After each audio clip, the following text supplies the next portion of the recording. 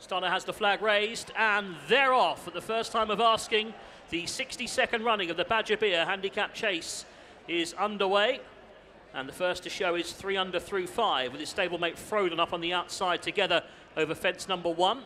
Just ridden along on the landing side there was Sam Brown. Racing wide is Blackjack Magic as they head towards the second fence, the middle one of three in the home straight, the second of the 21 in the Badger Beer chase. And over it, the early back marker is Forward Plan, one of the Anthony Honeyball quartet. But the Nicholls duo are up front together, Threeunderthrufive on the far side. The maroon sleeves and cap wider out last year's winner Frodon, who put in one of his typically excellent leaps there and lands in front. Frodon from Threeunderthrufive in second.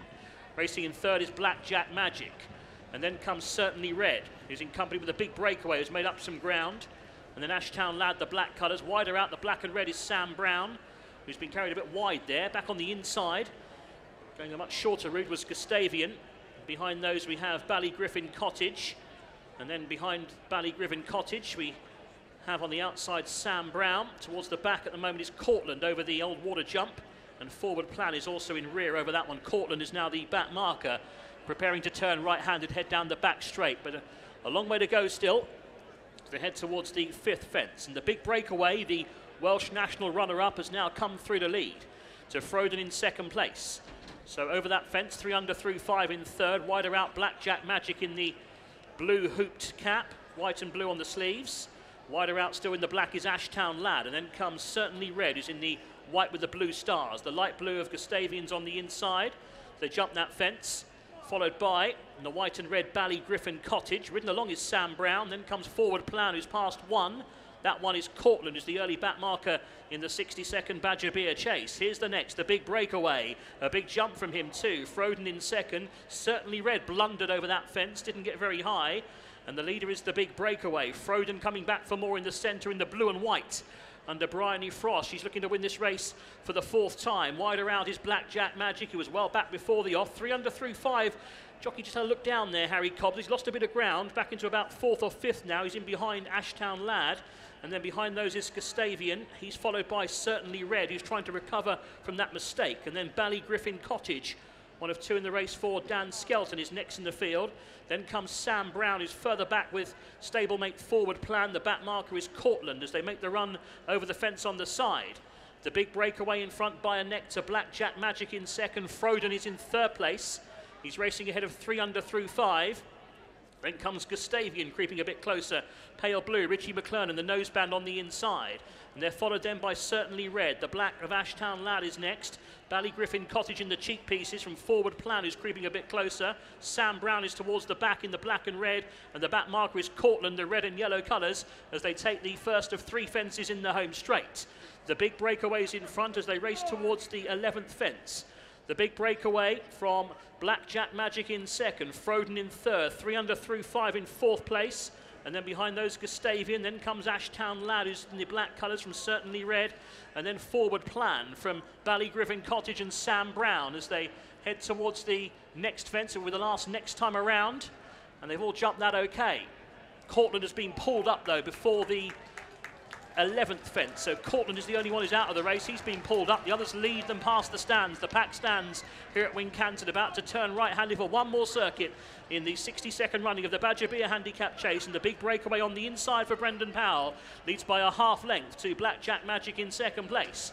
Frodon, last year's winner, is in third place. Back on the inner, Gustavian continues to creep a bit closer. Wider out are both, Threeunderthrufive, and Ashtown Lad in the black. And then comes certainly red Sam Brown, Ballygriffin Cottage and forward plan. Sam Brown not really travelling, being driven along and losing ground at the tail of the field, making the run down the back straight for the final time. They're heading towards fence 14, and up front, Blackjack Magic has now just got to the front for the first time. He's going nicely in the hands of Rex Dingle. Blackjack Magic from the big breakaway Frodon, Threeunderthrufive, coming back into it wide for Harry Cobden. The maroon sleeves and cap. Paul Nicholls looking for a 12th win in this race as they head down towards the next fence on the far side.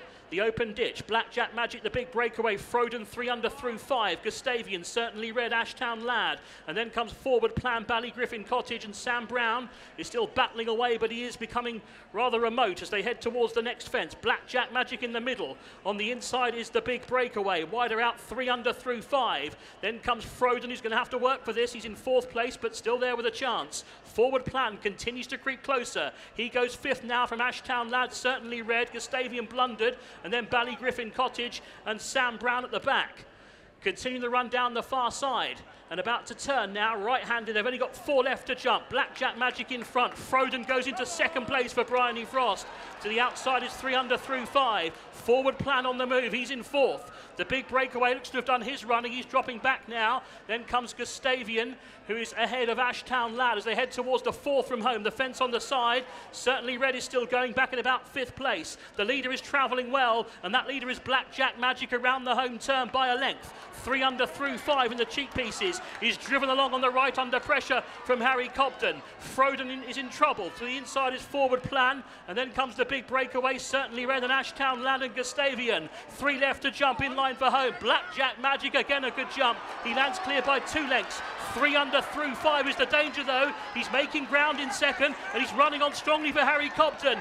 Two left to jump. Blackjack Magic from Threeunderthrufive, and they will fight it out. Here's the second last. Blackjack Magic, Threeunderthrufive, is getting closer. Then nine lengths clear of Frodon, and then comes Certainly Red on the far side. Blackjack Magic on the near side, Threeunderthrufive, one left to jump. Blackjack Magic still leads by a length.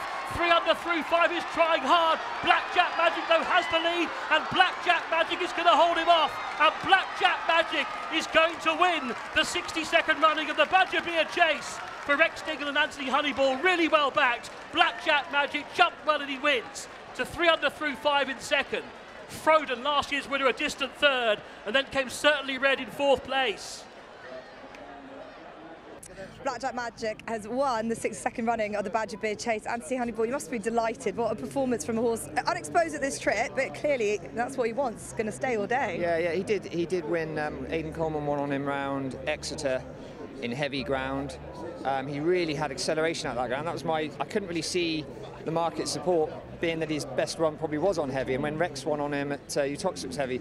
But that race, I hadn't looked very closely at that race, but when I did, I could. When the sort of the price was coming, I was thinking, God, that race has actually worked out quite well. Yeah. Um, I suppose unexposed and took our chance. You know, we, we, we gave him a chance first time out. He probably, it's easy to say now, but he probably is quite good fresh. Um, and um, just I say, his jumping was good as a novice. He got in a cracking rhythm. Um, I was a bit worried about that with Frodon being so forward and, and would, would really set, set the race alight, but I thought it might suit others coming from further back. But um, but he just got in a lovely rhythm and he just jumped from fence to fence. I don't think he he made any mistake. Yeah, it seemed pretty seamless, whereas 3 under 3 5 probably had a, a, few issues. But those are solid, good quality horses that he's beating, so we don't know what his the limit of his potential is. No, I, would be inclined, yeah, be, you couldn't really look beyond today now. I mean, to be honest, beyond today, I was thinking on the negative half glass half empty, I was thinking, well, there's, I was saying to the owners, there's loads of nice races from next month, yeah. two and a half mile heavy ground, and we're, we're, you know, we'll come on for the run and this, that, and the other. Um, but now you'd kind of be keeping him fresh and looking for yeah similar races and. Um, ideally you'd come back here, but I'm not sure there'd be a target like this back here. But um, yeah, you, you, you, just learn from today really, and just um, he was very good today. Sometimes he can lug one way or the other, and today he was very straight and um, really enjoyed himself. So you know, cracking effort. So we just look for another nice pot somewhere off, off a you know nice weight and, and, go for that. And, and to have a nice young horse who's you know rising and improving clearly. You know his experience is you know he's still sort of getting to grips with it. It must be really satisfying, and exciting for your team. Yeah, and there was. It, although there were 11 rather than maybe 17 or 18, which it can be, there was still quite a lot of pressure up front. Um, thanks, Dave. Uh, there was a lot of pressure up front, and he and he, he really held together well. He was obviously, like you said, over the trip he was just finding the tempo so easy, which I think is key to not blowing up and not, you know, not not finding it too hard. You know, he managed to keep filling his lungs up, and you could see he was just toying with the race a bit from the front, which was, which was lovely for him. It's, you never quite know till you try them in these sort of races. Yeah, but for, for you and your team to have to win a race of this nature earlier on in the season, yeah. they're all, all, going really well, but just to have that, it gives yeah. you a real good boost for yeah. kicking forward into like the depths of the national hunt season. Well, normally have we're normally sort of getting to March, April, thinking, are we going to get a nice pot? We've had a nice number of winners, but we'd like a higher profile pot, and we normally have to wait for Aintree or Punchestown. Sometimes we get a bit luck there, but it's nice to early season actually get a nice race in the bag and. Um, great for everyone, great for the yard, great for the owners. Um, I was going to say they look some really enthusiastic, nice bunch yeah. of people. Yeah, no, it's very good, and he, he's gone on. Um, they were really supportive about running him as well because it would have been easy. I was a bit uh, you know, it wasn't 100% this is the right way to go, but there wasn't a lot for him. So we kind of all just came to the same conclusion: kick on, have a good go, and uh, see how we go. So. Um, it, it, sort of became the plan rather than it always was the plan. But um, but yeah, it's good. He's done his work and we've got him ready for the day, so it's great. Yeah, and finally, while I have you, obviously you're stringing good form. It being early part of the season, what are you really looking forward to that you might even even unleashed yet? What, what's the what does the string look like? We've got a lot of young horses. I mean, a lot of young horses. So of the sort of horses you'd know hear more about. Like Kilbeg King, although he ran the other day and finished third, I'm hopeful as we step him up in trip, he'll gradually get into the, the graded novice chases. That's what I'm hoping. Yeah. Um, it wasn't his Gold Cup the other day, sharp track for him, so he'd be one that I'd be really, really looking forward to. We've got quite a lot of nice bumper horses coming through. Um, so yeah, just. Uh, Yeah. yeah, we're, we're, we're yeah, looking forward to getting all of those youngsters and seeing what they're made of. Brilliant. Well, today, like, days like today, you can enjoy as well. So well done, Anthony. Thank you. Thank Thanks. you very much. That seemed pretty seamless. How was it for you? Yeah, brilliant. Like, got into great rhythm. Um, was really happy all the way. Kind of filled up with the circuit to go. Got a little bit worried. Like that was his first run of the season. Turning in, I just thought he might. He, I felt like I was going to blow up, but when Harry came to me, he stuck his head down. And he, he went again, and um, yeah, it's brilliant. He seems like a real Dow stayer. Like he really, when he had a bit of company, he really wanted to lengthen again. Yeah, exactly. Like, kind of has had a bit of a reputation, a bit a bit quirky, but I think that was probably kind of unexposed, and you know he was unexposed over fences and still very baby-like. But he's Yeah. definitely like in the prelims today, he was way more relaxed, and he's definitely grown up a bit. So Yeah, I took a bit of a hint myself that you'd chosen him, one of three Anthony Honeyball um, Yeah. horses today. I don't know. I don't think there, there was there probably wasn't too much thought that went into that. I won on him last time, and um, yeah, it was just one of them. Just lucky on the day. Yeah, big race to win, brilliant A thrill must be for you and, and for the team get, get that job done. Yeah, exactly. You know. Um, Saturday winners, and they don't come around too too often, so it's great. Well, he's an exciting horse. Well done. Yeah, thanks very much. Thank, you. Watch live racing now on racingtv.com.